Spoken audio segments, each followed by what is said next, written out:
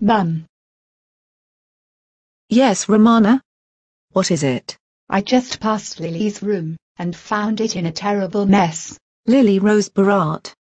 How dare you think it's appropriate to leave your room in an obscene mess? I didn't know you could see it from down here. Less of the sarcasm, how dare you? You get up to your room and get started tidying it, right now. You, naughty girl, Why should I? Because you left it in a very horrible mess, and you were very naughty for doing so. You'll be grounded if you don't do as I say. I'll do it later. That's it.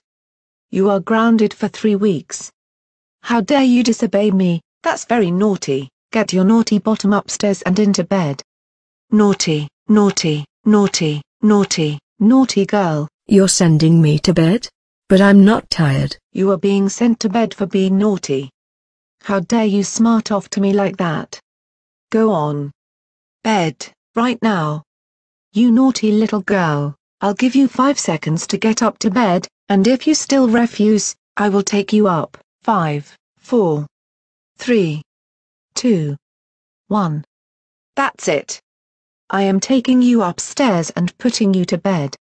You have been a very naughty girl today, and I am very cross with you.